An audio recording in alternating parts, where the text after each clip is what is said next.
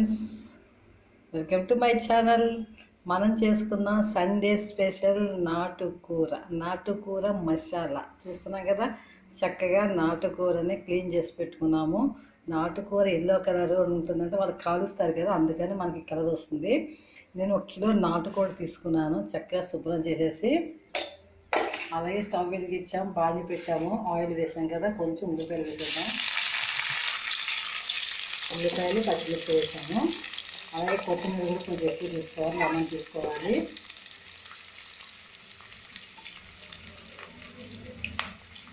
ఉల్లిపాయలు వేసుకున్న చూస్తాయి కదా.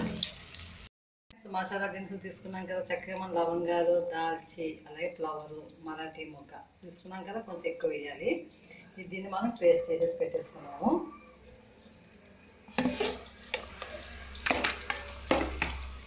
చక్కగా ఆనియన్స్ అనేది వేగాయి కదా ఇప్పుడు మనం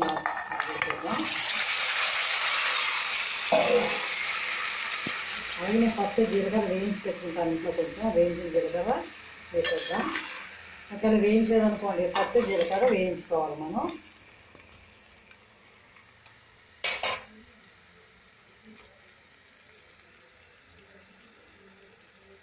మనకు ఉల్లిపాయలతో పాటు నాటుకూర ఈ మసాలా కూడా వేగుతూ ఉంటుంది. అందుకే కొంచెం ఉప్పు వేసాం. మళ్ళీ నెక్స్ట్ మళ్ళీ లాస్ట్లో కొంచెం వేద్దాము. దీన్ని మనం మనం క్యాక్ ఇచ్చేద్దాం. ఒక ఫిఫ్టీన్ మినిట్స్ మొత్తం అన్నీ ఉడుగుతాయి కూడా ఎంతవరకు వచ్చిందో చూసినా చక్కగా మనకి ఆనియన్స్ చక్కగా మగ్గుతున్నాయి. అలాగే మనం ఇప్పుడు కొంచెం సాల్ట్ పసుపు కారము ధనియాల జీలకర్ర పౌడర్. తప్పనిసరిగా వేసుకోవాలి. నెక్స్ట్ మనం చూస్తాం కదా వాటర్ అయితే ఎక్కువ పడుతుంది మనకి. బాగా ఉడకాలి వాటర్లో అదే. కుక్కర్లో అయితే తొందరగా ఉడుకుతుంది. మనం పైన కాబట్టి ఒక ఫిఫ్టీన్ ట్వంటీ మినిట్స్ తప్పనిసరిగా ఉడుకుతుంది. దించే ముందు ఇంకొంచెం మసాలా వేసుకుందాం మనం. నాటుకోడి మసాలా ఎంతవరకు అయిందో? దగ్గరికి అయిపోయింది కదా మనం కొత్తిమీర వేసేద్దాము.